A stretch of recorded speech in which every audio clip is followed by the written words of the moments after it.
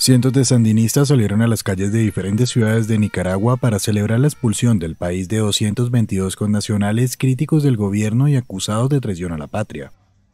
Por el triunfo, por, la decisión correcta de nuestro comandante, porque si no se sentía en nicaragüense era hora que con atuendos rojinegros característicos del oficialista Frente Sandinista de Liberación Nacional, camisas con mensajes de apoyo al presidente Daniel Ortega o a la invasión de Rusia en Ucrania o réplicas de aviones para recordar la suerte de los expulsados, los sandinistas marcharon en las principales calles de diversas ciudades de Nicaragua. Las marchas oficialistas fueron desarrolladas bajo el lema Victorias del pueblo no pudieron ni podrán. El grupo de 222 personas considerados presos políticos fue excarcelado y expulsado a Estados Unidos el pasado jueves de manera sorpresiva.